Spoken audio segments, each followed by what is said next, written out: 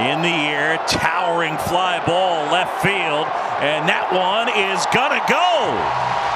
A two-run homer for Frank Schwindel, and just like that, the Cubs get two back. It's 8-6. yeah, this is fun stuff. Frank Schwindel, strikeout, strikeout, strikeout, first three times up today. And then the base hit off Kimbrel, the home run here in the 10th, and the Cubs have life 8 to 6.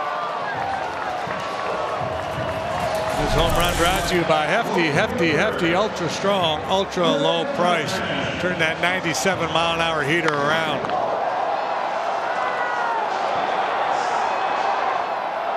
Frank the tank going yard.